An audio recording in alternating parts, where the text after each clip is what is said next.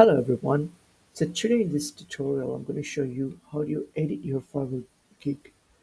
So firstly log into your Fiverr account. So once I've logged into your Fiverr account what I have to do is click on your profile option here, your profile picture, click on it and then click on profile.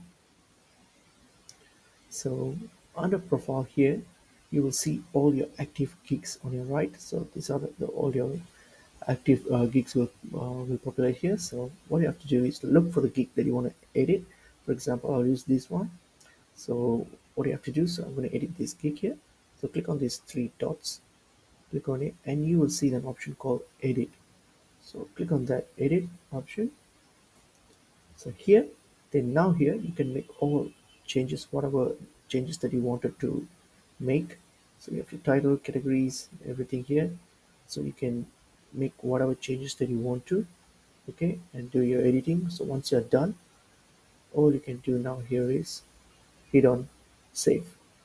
And that is so it's all done. So that's how you edit your gig. So hope this video is helpful to you guys and i'll see you guys in another video soon. Thank you